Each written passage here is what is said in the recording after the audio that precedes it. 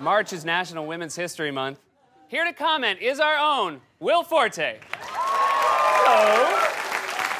Hello, Seth. I am here because I could not be more excited about Women's History Month. Or should I say Women's Herstory Month? Oh, You see how I just changed the word history to the word herstory, Seth? yeah, I, I saw that. Yes. So, uh, to celebrate this great occasion, I did a lot of research and wrote a pretty amazing song about great women in herstory.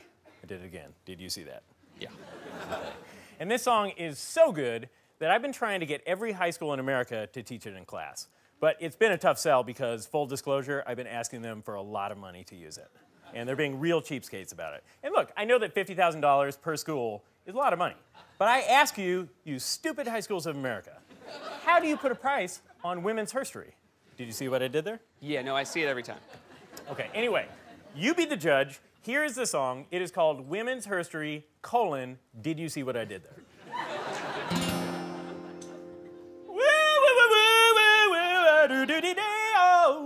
I like to start with a little riffing at Sure, the sure, beginning. sure, of so- course, of course.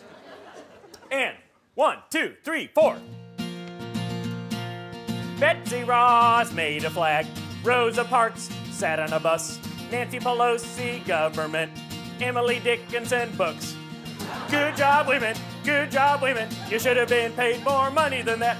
Good job, women. Terrific job, women. Your history is now herstory. See what I did there? Sally Ride, Space Woman. Mary Tyler Moore threw that hat. Diane Keaton wore a tie like a dude. And Helen Keller said, wah. Good job, women. Good job, women. Enjoy the month of March, because that's all you get. Good job, women. A good song, Will Forte. What good information that should be taught in school. High schools of America, what are you thinking?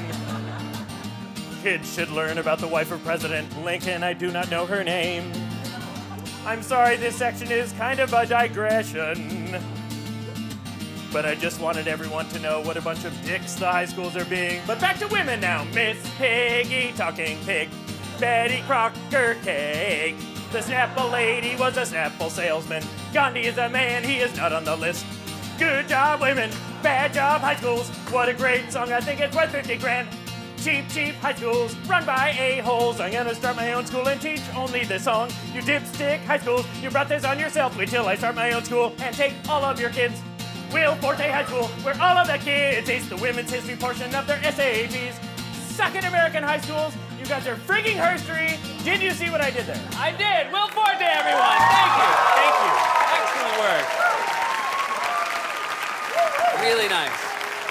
So much information. Thank you. Emily Dickinson books.